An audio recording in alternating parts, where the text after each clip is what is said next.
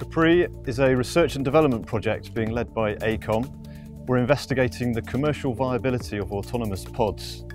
We're leading 19 partner consortium, a mixture of industry leaders, uh, universities and smaller niche SMEs. The focus of the project is to see the commercial viability of pods, in particular how they can operate on roads in a safe and practical way.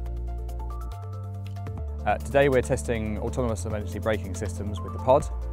Uh, autonomous emergency braking systems are designed as the last line of defence really when um, an object such as a pedestrian or another vulnerable road user steps into the path of the vehicle.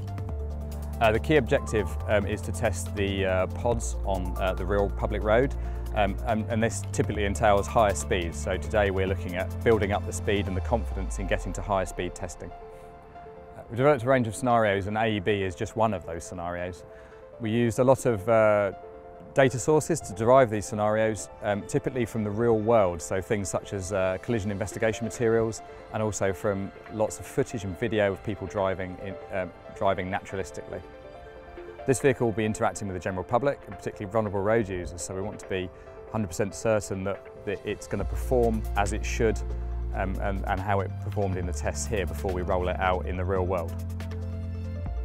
Our main focus for this project is to develop a virtual test environment which allows us to test the pod and its software in various scenarios which have been identified through the accidentology as being potentially dangerous for the pod. So it's important to do both virtual and physical.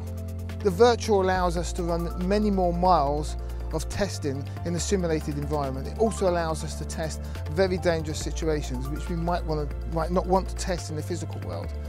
But we need the physical world and the data we get from that physical world to qualify exactly what we did in the virtual environment. So the purpose, the ultimate purpose of our virtual test environment is to allow us to build a, a virtual MOT, if you like, which allows us to put pods and its software and future autonomous vehicles through a virtual test environment that will be approved via the regulatory bodies.